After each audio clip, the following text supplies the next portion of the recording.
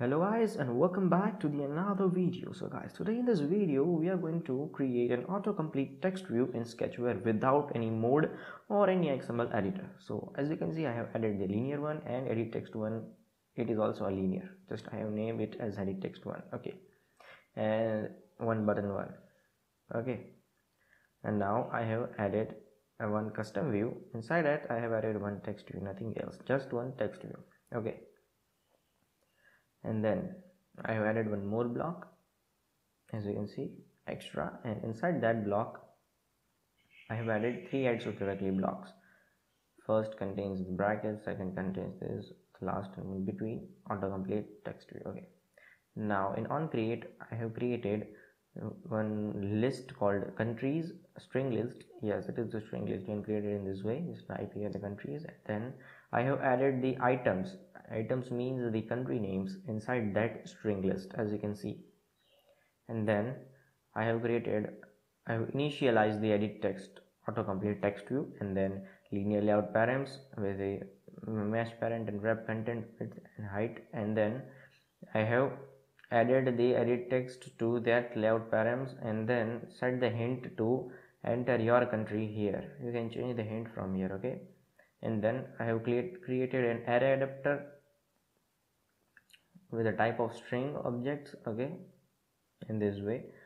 And uh, I have given here custom layout which we have created and uh, the text view one from that layout okay.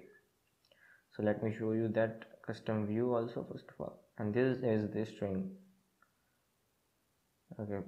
This is the custom view and this is the text which we have created right now is added in this adapter here okay? And this is the countries which is the string list which i have created here okay? And now set the adapter to that adapter. And that adapter is this adapter which we have created right now okay? And then yeah here and now just going to set the threshold. I have set the threshold to 1 because whenever the user types the first letter it will show the hint. If you type here 2 then it will show the hint after when user types the two the first letter of that particular country. But i will going to put it as one only and then save it up. And then add this edit text to the linear layout named it as edit text one. Yes i have created one linear layout and i have named that linear layout as edit text one. As you can see here this is the linear layout actually not the edit text but i have just changed the id to edit text one.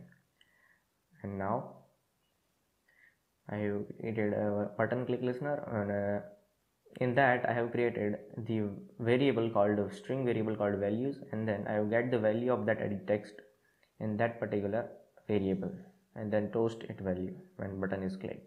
So now let's test the application how it works and looks like. So guys the project link is available in the description. You can download it directly from there.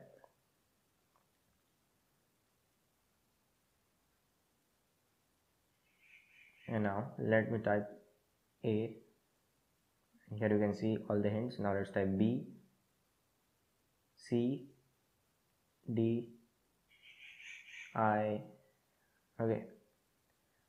And I will click on this button. And as you can see it toasts the message. Okay. When I type something else with this as you can see it toasts the and if you your uh, user is leaving the spaces then spaces will be trimmed off.